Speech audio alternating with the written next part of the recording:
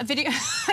I just shot up to attention there, as should you as well for this next story. Does Jenny realize she's about to read rap lyrics? Yes, I do. Let's find I out. knew, I knew, I saw, and You I knew. Ready? Yeah, because the song's like, "She's a runner, she's a trap star," right?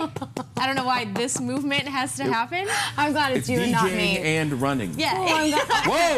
oh, we were not expecting that. You're getting all the good ones today. C-bot run, run bot run. Really good. Really, Thank really you. good. Well, a Guinness World Speed Record now owned by a cutting edge creation that's half insane bot and half Usain Bolt. Oh. Whoa. Cassie, this hoofing bipedal half bot is the work of Agility Robotics and it's a spin off of Oregon State University. Wow, I love the name. So Cassie here operates with no cameras or sensors, but rather through machine learning. It was engineered to have a running behavior that's been described as strikingly similar to human biomechanics. Once on the track, Cassie did not disappoint, as you can see, Wow. setting a new bipedal bot world record. Bipedal bot, interesting.